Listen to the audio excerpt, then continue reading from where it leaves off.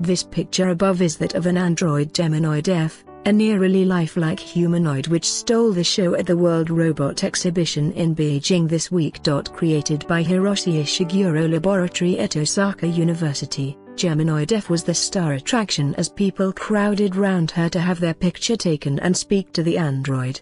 Some people have even remarked that they found Geminoid F sexy.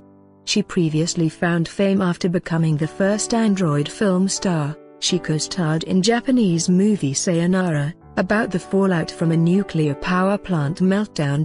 With her realistic appearance, good looks and acting talent, you might think Geminoid F had it all, but some people, in particular her creators, are picky. Kohei Ogawa, assistant professor at Hiroshi Ishiguro Laboratory said there was still work to do on their living doll.